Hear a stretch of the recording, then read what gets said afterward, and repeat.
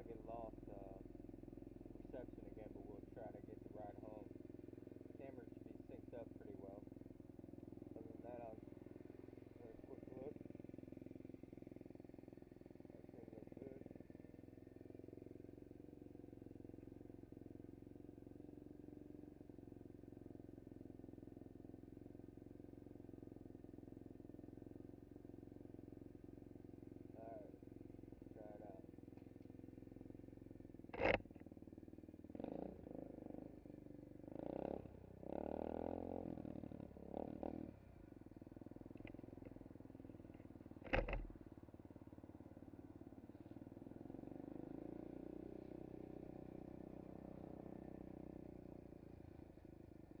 shit doesn't want to work.